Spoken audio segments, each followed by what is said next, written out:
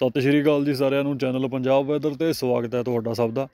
ਮੌਸਮ ਦੀ ਗੱਲ ਕਰਾਂਗੇ, ਅੱਜ ਦੀ ਇਸ ਵੀਡੀਓ ਵਿੱਚ ਆਪਾਂ ਪੂਰੇ ਦਸੰਬਰ ਮਹੀਨੇ ਦੀ ਕਿ 1 ਤੋਂ ਲੈ ਕੇ 31 ਦਸੰਬਰ ਤੱਕ ਪੰਜਾਬ ਦਾ ਮੌਸਮ ਕਿਵੇਂ ਦਾ ਰਹਿਣ ਵਾਲਾ ਹੈ, ਇਹਨਾਂ ਦਿਨਾਂ ਦੇ ਵਿੱਚ ਕਦੋਂ ਕਦੋਂ ਸਿਸਟਮ ਪਹੁੰਚ ਰਹੇ ਨੇ, ਮੌਸਮ ਦੇ ਵਿੱਚ ਬਦਲਾਅ ਕਦੋਂ ਆ ਰਿਹਾ ਹੈ, ਕਿਸ ਦਿਨ ਮੀਂਹ ਦੇ ਸਾਰ ਨੇ ਤੇ ਬਾਕੀ ਠੰਡ ਧੁੰਦ ਦਾ ਕੀ ਮਾਹੌਲ ਰਹੇਗਾ, ਸਾਰੀ ਅਪਡੇਟ ਅਨੁਮਾਨ ਆਧਾਰਿਤ ਤੁਹਾਡੇ ਨਾਲ ਸਾਂਝੀ ਕਰਾਂਗੇ। ਬਾਕੀ ਅਗਲੇ ਦਿਨਾਂ ਦੇ ਵਿੱਚ ਜਿਵੇਂ ਵੀ ਡੇਲੀ ਅਪਡੇਟ ਨਵੀਂ ਅਪਡੇਟ ਪ੍ਰਾਪਤ ਹੋਵੇਗੀ, ਉਹ ਆਪਾਂ ਰੋਜ਼ ਹੀ ਰੋਜ਼ ਤੁਹਾਡੇ ਨਾਲ ਸਾਂਝੀ ਕਰਦੇ ਰਹਾਂਗੇ। ਸੋ ਇਸੇ ਤਰ੍ਹਾਂ ਲਗਾਤਾਰ ਮੌਸਮ ਦੀ ਸਹੀ ਤੋਂ ਸਟੀਕ ਅਪਡੇਟ ਪ੍ਰਾਪਤ ਕਰਦੇ ਰਹਿਣ ਲਈ ਚੈਨਲ YouTube, ਆਪਣੇ ਪੰਜਾਬ ਵੈਦਰ ਨੂੰ ਸਬਸਕ੍ਰਾਈਬ ਜ਼ਰੂਰ ਕਰ ਲਿਓ। ਤੇ ਹੁਣ ਸ਼ੁਰੂਆਤ ਕਰਦੇ ਹਾਂ ਅੱਜ ਦੀ ਇਸ ਵੀਡੀਓ ਦੀ। ਸੋ ਪਹਿਲਾਂ ਤਾਜ਼ਾ ਸੈਟੇਲਾਈਟ ਤਸਵੀਰ ਦੇਖ ਰਹੇ ਹਾਂ। ਹਲਕੀ ਫੁਲਕੀ ਬੱਦਲਵਾਈ ਪੰਜਾਬ ਦੇ ਖਾਸ ਜਿਹੜੇ ਕੁਝ ਪੂਰਬੀ ਤੇ ਉੱਤਰੀ ਹਿੱਸਿਆਂ ਦੇ ਵਿੱਚ ਬਣੀ ਹੋਈ ਹੈ। ਉਸ ਦਾ ਕਾਰਨ ਹੈ ਕਿ ਜਿਹੜਾ ਪਿਛਲੇ ਦਿਨ ਸਿਸਟਮ ਬਣਿਆ ਸੀ, ਜਿਹਦੇ ਚੱਲਦੇ ਪੰਜਾਬ ਦੇ ਕਈ ਹਿੱਸਿਆਂ ਦੇ ਵਿੱਚ ਭਾਰੀ ਬਰਸਾਤ ਹੋਈ ਹੈ ਜਿਵੇਂ ਚੰਡੀਗੜ੍ਹ ਮੋਹਾਲੀ, ਰੋਪੜ ਸਾਈਡ ਦੇ ਮੋਹਾਲੀ ਦੇ ਇਲਾਕੇ ਹੋ ਗਏ, ਇਹਨਾਂ ਇਲਾਕਿਆਂ ਵਿੱਚ ਕਾਫੀ ਭ- ਭਰਵੀਂ ਬਰਸਾਤ ਹੋਈ ਹੈ ਬਾਕੀ ਨਵਾਂ ਸ਼ਹਿਰ ਦੇ ਆਸ-ਪਾਸ ਦੇ ਹਿੱਸਿਆਂ ਵਿੱਚ ਵੀ ਕਾਫੀ ਬਰਸਾਤ ਹੋਈ ਹੈ ਤੇ ਉਧਰ ਕੁਝ ਮਾਝੇ ਖੇਤਰ ਦੇ ਕਈ ਇਲਾਕਿਆਂ ਵਿੱਚ ਵੀ ਭਰਮੀ ਬਰਸਾਤ ਹੋਈ ਹੈ। ਬਾਕੀ ਹਿੱਸਿਆਂ ਦੇ ਵਿੱਚ ਹਲਕਾ ਦਰਮਿਆਨਾ ਮੀਂਹ ਦੇਖਣ ਨੂੰ ਮਿਲਿਆ। ਕੁਝ ਇਲਾਕੇ ਖੁਸ਼ਕ ਵੀ ਰਹੇ ਨੇ। ਤਾਂ ਇਸੇ ਸਿਸਟਮ ਦੇ ਚੱਲਦੇ ਥੋੜਾ ਬਹੁਤ ਬੱਦਲਵਾਈ ਦਾ ਪ੍ਰਭਾਵ 1 ਦਸੰਬਰ ਨੂੰ ਕੁਝ ਖੇਤਰਾਂ ਵਿੱਚ ਰਹੇਗਾ, ਪਰ ਮੌਸਮ ਜ਼ਿਆਦਾ ਠੀਕ ਠਾਕ ਹੀ ਰਹੂਗਾ, ਕੋਈ ਮੀਂਹ ਦੇ ਹਾਲਾਤ ਫਿਲਹਾਲ ਨਹੀਂ ਹਨ, ਕਿਉਂਕਿ ਇਹ ਸਿਸਟਮ ਹੁਣ ਕਮਜ਼ੋਰ ਪੈ ਚੁੱਕਿਆ ਹੈ। ਲਗਭਗ 4 ਦਸੰਬਰ ਤੱਕ ਮੌਸਮ ਹੁਣ ਅਗਲੇ ਦਿਨਾਂ ਵਿੱਚ ਸਾਫ਼ ਰਹੇਗਾ।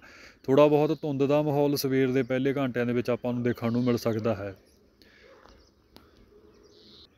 ਤੇ ਇਹਨਾਂ ਦਿਨਾਂ ਦੇ ਵਿੱਚ ਜੇਕਰ ਦਿਨ ਦੇ ਟੈਂਪਰੇਚਰ ਦੀ ਗੱਲ ਕਰੀਏ ਤਾਂ ਦਿਨ ਦਾ ਟੈਂਪਰੇਚਰ ਫਿਲਹਾਲ ਥੋੜਾ ਜਿਹਾ ਹੁਣ ਘਟੇਗਾ ਕਿਉਂਕਿ ਤਾਜ਼ਾ ਸਿਸਟਮ ਗੁਜ਼ਰਿਆ ਹੈ। ਉਸ ਤੋਂ ਬਾਅਦ ਪਹਾੜੀ ਇਲਾਕਿਆਂ ਵਿੱਚ ਜੋ ਬਰਫ਼ਬਾਰੀ, ਬਰਸਾਤ ਹੁੰਦੀ ਹੈ, ਉਸ ਤੋਂ ਬਾਅਦ ਠੰਡੀਆਂ ਉੱਤਰ ਪੱਛਮੀ ਹਵਾਵਾਂ ਵਾਪਸੀ ਕਰਦੀਆਂ ਨੇ।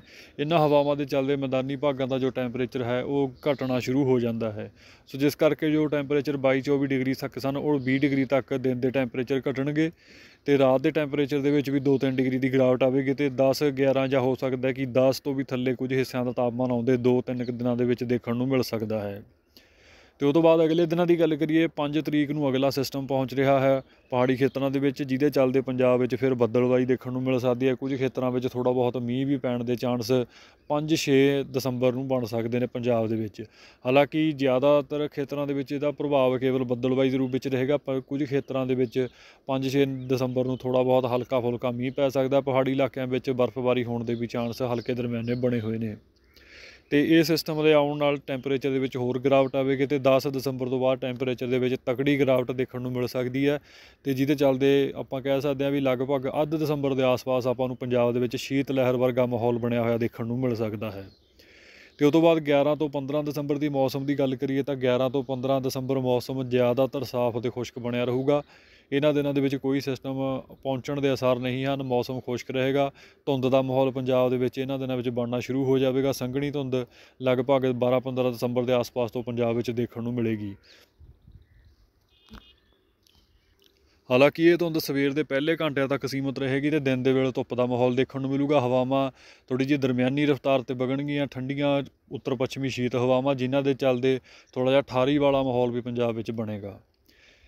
ਤੇ 15 ਦਸੰਬਰ ਤੱਕ ਇਹ ਸਿਸਟਮ ਦਾ ਇਹਨਾਂ ਦਿਨਾਂ ਵਿੱਚ ਮੌਸਮ ਸਾਫ਼ ਰਹੂਗਾ। ਟੈਂਪਰੇਚਰ ਜਿਵੇਂ ਦੱਸਿਆ ਕਿ ਪਹਿਲਾਂ ਵੀਹ- ਦਿਨ ਦੇ ਟੈਂਪਰੇਚਰ 20 ਡਿਗਰੀ ਤੋਂ ਥੱਲੇ ਆ ਜਾਣਗੇ, ਰਾਤ ਦੇ ਟੈਂਪਰੇਚਰ 10 ਡਿਗਰੀ ਤੋਂ ਘਟ ਜਾਣਗੇ। ਤੇ ਉਸ ਤੋਂ ਬਾਅਦ ਗੱਲ ਕਰੀਏ 16 ਤੋਂ 20 ਦਸੰਬਰ ਦੀ, ਤਾਂ ਇਹਦੇ ਵਿੱਚ 16 ਤੋਂ ਲੈ ਕੇ 18 ਦਸੰਬਰ ਦੇ ਦਰਮਿਆਨ ਇੱਕ ਤਕੜੀ ਸ਼੍ਰੇਣੀ ਦਾ ਸਿਸਟਮ ਪਹੁੰਚ ਰਿਹਾ, ਜਿਹੜਾ 2-3 ਦਿਨਾਂ ਤੱਕ ਟਿਕੇਗਾ।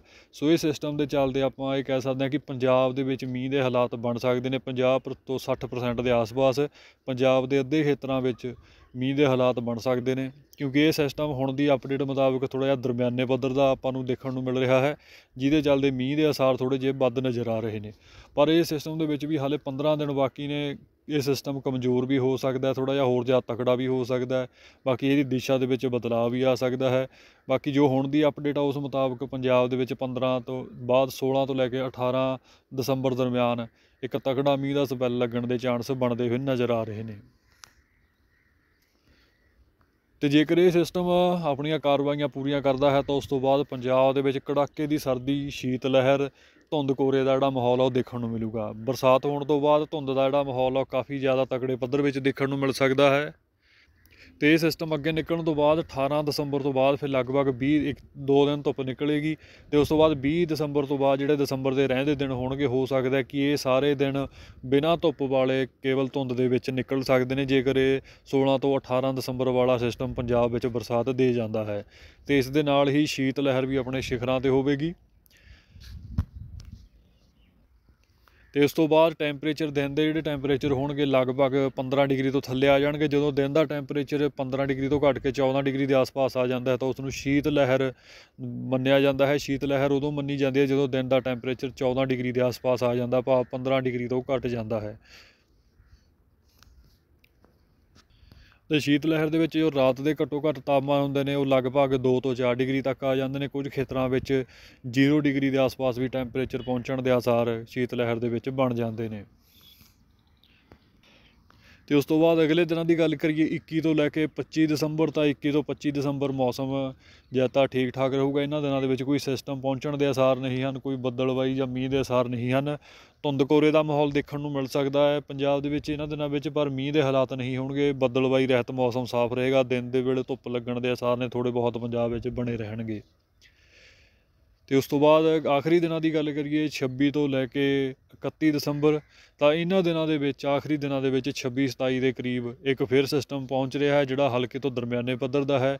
ਸੋ ਇਹ ਸਿਸਟਮ ਦੇ ਚੱਲਦੇ ਫਿਰ ਪੰਜਾਬ ਦੇ ਵਿੱਚ ਮੀਂਹ, ਕਣੀ ਦੇ ਹਾਲਾਤ ਬਣਦੇ ਹੋਏ ਨਜ਼ਰ ਆ ਰਹੇ ਨੇ। ਤੇ ਇਹ ਸਿਸਟਮ ਦੇ ਵਿੱਚ ਲਗਭਗ ਹਾਲੇ ਦਿਨ ਕਾਫੀ ਜ਼ਿਆਦਾ ਬਾਕੀ ਨੇ। ਸੋ ਇਹਦੇ ਵਿੱਚ ਆਪਾਂ 100% ਸ਼ਿਓਰਤਾ ਨਾਲ ਨਹੀਂ ਇਹ ਕਹਿ ਸਕਦੇ ਵੀ ਇਹ ਸਿਸਟਮ ਦੇ ਚੱਲਦੇ ਮੀਂਹ ਪਵੇਗਾ ਜਾਂ ਨਹੀਂ, ਪਰ ਜੋ ਹੁਣ ਦੀ ਅਪਡੇਟ ਆ, ਉਸ ਮੁਤਾਬਕ ਮਹੀਨੇ ਦੇ ਆਖਰੀ ਦਿਨਾਂ ਦੇ ਵਿੱਚ ਪੰਜਾਬ ਵਿੱਚ ਮੀਂਹ ਦੀਆਂ ਗਤੀਵਿਧੀਆਂ ਹੋਣ ਦੇ ਚਾਂਸ ਨੇ, ਉਹ ਬਣਦੇ ਹੋਏ ਨਜ਼ਰ ਆ ਰਹੇ ਨੇ। ਤੇ ਇਹ ਸਿਸਟਮ ਲਗਭਗ 28 ਦਸੰਬਰ ਤੱਕ ਟਿਕੇਗਾ ਤੇ ਉਸ ਤੋਂ ਬਾਅਦ ਫਿਰ ਮੌਸਮ ਸਾਫ਼ ਹੋਵੇਗਾ ਤੇ 29 30 31 ਦਸੰਬਰ ਨੂੰ ਮੌਸਮ ਪੰਜਾਬ ਦਾ ਜ਼ਿਆਦਾ ਠੀਕ ਠਾਕ ਦੇਖਣ ਨੂੰ ਮਿਲੂਗਾ। ਟੈਂਪਰੇਚਰ ਦੇ ਵਿੱਚ ਗਿਰਾਵਟਾਂ ਲਗਾਤਾਰ ਜਾਰੀ ਰਹੇਗੀ। ਦਿਨ ਦੇ ਟੈਂਪਰੇਚਰ 10 11 12 ਡਿਗਰੀ ਦੇ ਆਸ-ਪਾਸ ਹੋਣਗੇ। ਰਾਤ ਦੇ ਟੈਂਪਰੇਚਰ ਘੱਟੋ ਘੱਟ 1 2 ਤੋਂ ਲੈ ਕੇ 3 4 ਡਿਗਰੀ ਦੇ ਆਸ-ਪਾਸ ਘੁੰਮਦੇ ਰਹਿਣਗੇ। ਤੇ ਹੁਣ ਜੇਕਰ ਸੰਖੇਪ ਵਿੱਚ ਕਹੀਏ ਤਾਂ ਦਸੰਬਰ ਮਹੀਨੇ ਦੇ ਵਿੱਚ ਪੰਜਾਬ ਦੇ ਵਿੱਚ ਲਗਭਗ ਤਿੰਨ ਸਿਸਟਮ ਪਹੁੰਚ ਰਹੇ ਨੇ। ਪਹਿਲਾ ਸਿਸਟਮ 5-6 ਦਸੰਬਰ ਦੇ ਆਸ-ਪਾਸ, ਅਗਲਾ ਸਿਸਟਮ 16 ਤੋਂ 18 ਦਸੰਬਰ ਨੂੰ ਤੇ ਜਿਹੜਾ ਤੀਜਾ ਸਿਸਟਮ ਹੈ ਉਹ 26 ਤੋਂ 28 ਦਸੰਬਰ ਦੇ ਦਰਮਿਆਨ ਆਸ-ਪਾਸ ਪਹੁੰਚਣ ਦੇ ਚਾਂਸ ਨੇ। ਸੋ ਇਹਨਾਂ ਤਿੰਨ ਸਿਸਟਮਾਂ ਦੇ ਚੱਲਦੇ ਮੌਸਮ ਦੇ ਵਿੱਚ ਬਦਲਾਅ ਆਪਾਂ ਨੂੰ ਪੰਜਾਬ ਵਿੱਚ ਦੇਖਣ ਨੂੰ ਮਿਲੂਗਾ। ਕਈ ਖੇਤਰਾਂ ਦੇ ਵਿੱਚ ਆਪਾਂ ਨੂੰ ਹੋ ਸਕਦਾ ਹੈ ਕਿ ਇਸ ਤਕੜੇ ਸਿਸਟਮ ਦੇ ਚੱਲਦੇ, ਠੰਡ ਦੇ ਵਿੱਚ ਚੋਖਾ ਵਾਧਾ ਦੇਖਣ ਨੂੰ ਵੀ ਮਿਲ ਸਕਦਾ ਹੈ ਤੇ ਸ਼ੀਤ ਲਹਿਰ ਵੀ ਸਮੇਂ ਤੋਂ ਪਹਿਲਾਂ ਜੇਕਰ ਸਿਸਟਮ ਇਹ ਪਹੁੰਚਦੇ ਨੇ ਤਾਂ ਸਮੇਂ ਤੋਂ ਪਹਿਲਾਂ ਪੰਜਾਬ ਵਿੱਚ ਸ਼ੀਤ ਲਹਿਰ ਦੇ ਚਾਂਸ ਵੀ ਬਣ ਸਕਣਗੇ। ਤੇ ਬਾਕੀ ਅਗਲੇ ਦਿਨਾਂ ਦੀ ਅਪਡੇਟ ਤੁਹਾਨੂੰ ਡੇਲੀ ਵੀਡੀਓ ਵਿੱਚ ਸਾਂਝੀ ਤੁਹਾਡੇ ਨਾਲ ਕਰਦੇ ਰਹਾਂਗੇ। ਸੋ ਚੈਨਲ ਪੰਜਾਬ ਵੈਦਰ ਨਾਲ ਜੁੜੇ ਰਹੋ ਤਾਂ ਜੋ ਸਮੇਂ-ਸਮੇਂ ਤੇ ਤੁਹਾਨੂੰ ਮੌਸਮ ਦੀ ਹਰ ਅਪਡੇਟ ਮਿਲਦੀ ਰਹੇ। ਹੁਣ ਇਜਾਜ਼ਤ ਦਿਓ, ਧੰਨਵਾਦ ਜੀ।